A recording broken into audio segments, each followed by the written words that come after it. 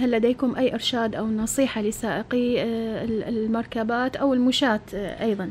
إحنا بالنسبة لنا يعني اللي بالوقت الحاضر العدو الأول لسائق المركبة أو ل- لكافة سالقي الطريق هو استخدام الهاتف النقال مم. يعني الهاتف النقال يخلي سائق المركبة بمعزل عن العالم الخارجي صحيح واحتمال يسبب له حادث اذا كانت بعض الأحيان المكالمات بها فد نوع من الانفعال أو مم. بعض التشنجات فلا تتصل حتى تصل. استخدام الهاتف النقال يعني جريمة بحق المواطن وجريمة بحق الشارع. يعني يسبب نوايا حوادث صارت بسبب استخدام الهاتف النقال.